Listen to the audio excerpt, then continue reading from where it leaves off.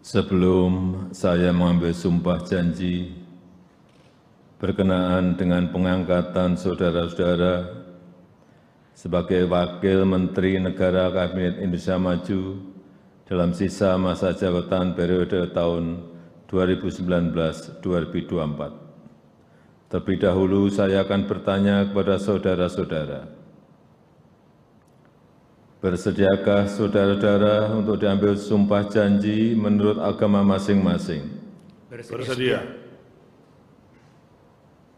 Apabila demikian harap mengikuti dan mengulangi kata-kata saya. Bagi saudara-saudara yang beragama Islam, demi Allah saya bersumpah. Demi Allah saya bersumpah. Bagi saudara yang beragama Katolik, demi Tuhan saya berjanji Demi Tuhan saya berjanji.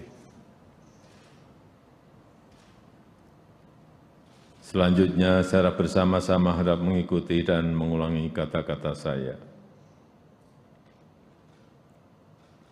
Bahwa saya Bahwa saya saya akan setia kepada akan setia kepada Undang-Undang Dasar Negara Republik Indonesia Undang-Undang Dasar Negara Republik Indonesia tahun 1945 tahun 1945 serta akan menjalankan serta akan menjalankan segala peraturan perundang-undangan. Segala peraturan undang-perundang-undangan dengan seluruh-seluruhnya.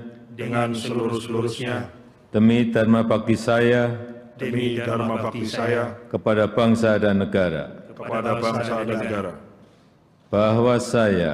Bahwa saya dalam menjalankan tugas jabatan dalam menjalankan tugas jabatan akan menjunjung tinggi etika jabatan akan menjunjung tinggi etika jabatan bekerja dengan sebaik-baiknya bekerja dengan sebaik-baiknya dengan penuh rasa tanggung jawab. dengan penuh rasa tanggung jawab.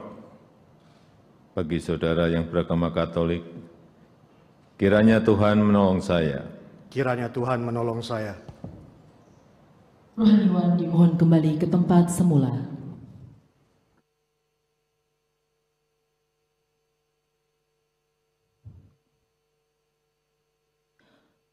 Persiapan penandatanganan berita acara kepada Saudara Thomas A.M. Jiwandono sebagai Wakil Menteri Keuangan dimohon menuju meja penandatanganan.